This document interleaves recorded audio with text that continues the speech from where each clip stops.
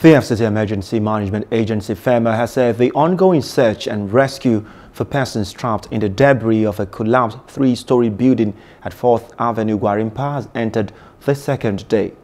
We had earlier reported that the building under construction went down at about 11 a.m. on Thursday, trapping an unspecified number of construction workers.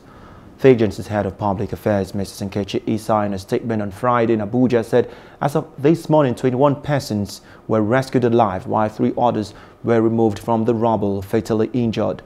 Mrs. Isa said that the rescue team comprising FEMA, NEMA, Red Cross, Nigerian Police, Nigerian Security and Civil Defense Corps, Federal Road Safety Corps and some construction companies are on the ground combing for victims. She said during a visit to the site of the incident, the FCT Minister Malam Mohamed Bello commiserated with the families of the victims and residents of the FCT over the unfortunate incident. The minister noted that it was the third time such an incident happened at Gwarinpa Estate.